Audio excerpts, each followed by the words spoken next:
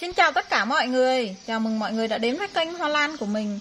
Hôm nay mình sẽ chia sẻ với tất cả mọi người, cô chú, anh chị cách mình trồng một chậu lan kiếm. Thì rất là đơn giản thôi, chúng ta xử lý giá thể thì phải xử lý kỹ nha mọi người nha. Phân này là phân gói phân tan chậm, phân phân cá, phân kích rễ mọi người. Thì ờ, mình các bạn thấy mầm gốc này ha. Một này, mầm gốc nhá, một. 2, 3 Hiện tại là đang ba mầm gốc và rễ đã phún rất là tốt nha. Thì mình trồng chậu này mới được có 2 tuần thôi Chút xíu nữa mình sẽ chia sẻ với mọi người cách trồng. Giá thể vỏ thậm mình chỉ chia sẻ cách trồng Còn mọi người um, uh, tự trồng nha Chứ hôm nay mình không làm video trồng kiếm đó Vì mình đã chia sẻ rất là nhiều video trồng lan kiếm ở đây này Những cái những cái cây này nó hư mà nó vẫn đi mầm ra mầm được nha mọi người. Bộ rễ thì ra đang ra rất là khỏe luôn á. Đó. đó mọi người nhìn cái bộ rễ của nó nhá Rễ rất là mập luôn. Mình sẽ chia sẻ mọi người trồng xong rồi chúng ta chăm sóc làm sao để cho một chậu lan kiếm đẹp. Thì nếu mà mọi người các bạn mà đăng ký kênh của mình lâu rồi thì các bạn thấy những cái chậu lan kiếm nhà mình rất là khủng ha.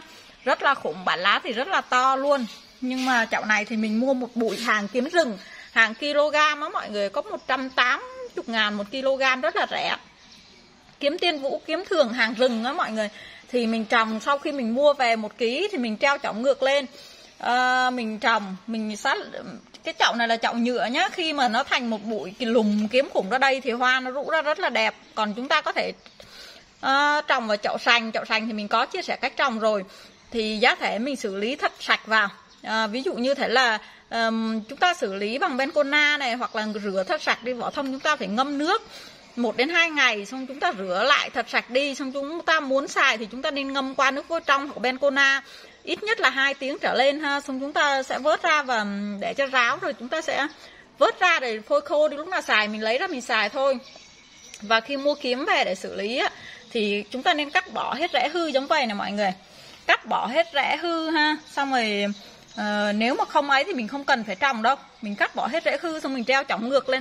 Mình treo nó chỏng ngược lên vậy cho cái cái này nó úp xuống ha. Sau đó rồi là cứ, mình có thể ngâm kích rễ, ngâm kích rễ bằng og hum og hum một mi và b 1 một mi nha mọi người. Hoặc là loãng hơn một xíu cũng được. Ý là mọi, nếu mà chúng ta chưa ấy thì chưa xài quen chúng ta pha og hung nửa mi cũng được ha.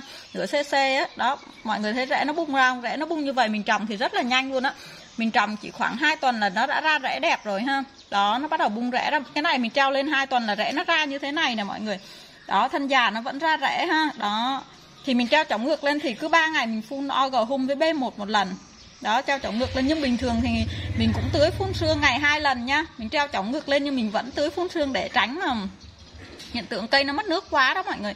Thì bây giờ rất đơn giản thôi. Chúng ta treo chống ngược lên và chúng ta phun kích rễ sau rễ ra thì chúng ta trồng thì cây nó hơi khô một xíu nhưng mà nó phát triển rất là nhanh. Rồi cho giá thể vô chậu nhựa và chúng ta trồng thì cây phát triển rất là nhanh, rất là nhanh luôn á. Ờ, và nhanh thành bụi, bật mầm nhanh nữa, nhanh thành bụi to.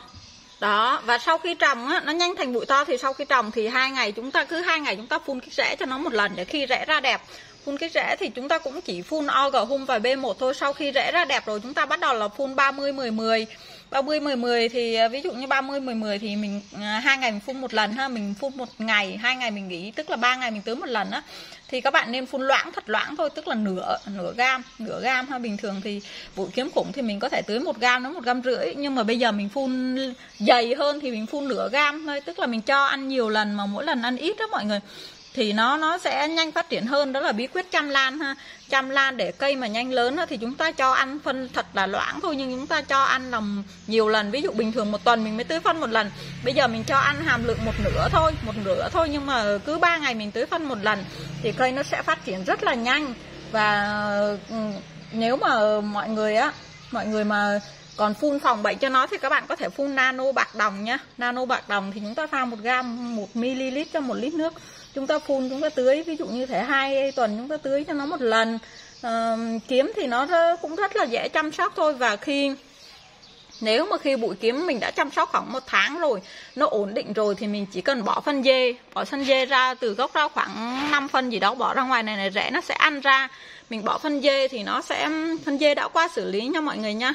Mình mua phân dê nên mua loại đã qua xử lý nó đóng gói rồi đó thì uh, nó rất là tốt luôn. Lúc đấy mình không cần phải chăm sóc gì nhiều đâu. Khi bộ rễ đã ra rồi nó đã ăn nó có phân dê phân tân chậm nó ăn rồi á thì một tháng mình chỉ cần tưới phân một một đến hai lần là được. Ví dụ những chậu kiếm khủng như mình trên kia một tháng mình chỉ tưới phân một đến hai lần thôi không cần phải tưới phân nhiều.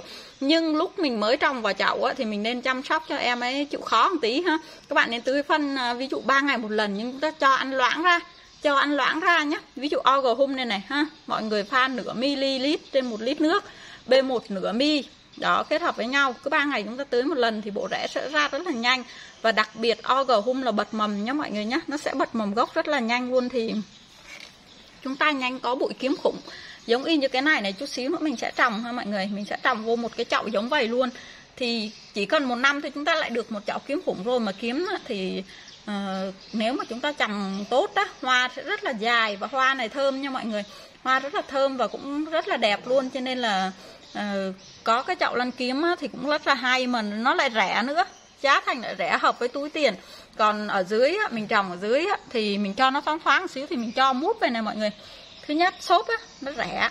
Nó rẻ nó tiết kiệm được cái chậu nhựa này cũng rất là rẻ ha. Vậy đơn giản thôi. Có mấy bạn có thể trồng bằng uh, mình trồng vỏ thông vụn vừa vừa thôi này, không cần phải to lắm đâu lan kiếm thì cũng dễ trồng lắm, mọi người dễ trồng và dễ chăm sóc lắm rồi mình chúc mọi người trồng thành công những chậu lan kiếm đẹp nhé Cảm ơn tất cả mọi người đã coi video của mình. Chút xíu nữa thì cái phần kết thúc màn hình á, mình sẽ chèn cái những cái mình trồng những cái chậu lan kiếm các bạn có thể tham khảo thêm ha. À, nếu bạn nào mà thấy video của mình hay hữu ích thì hãy đăng ký kênh để đồng hành cùng mình nha mọi người. À, à, chân thành cảm ơn tất cả mọi người trong thời gian qua đã luôn đồng hành cùng mình nha mọi người. Xin chào và hẹn gặp lại. Bye bye.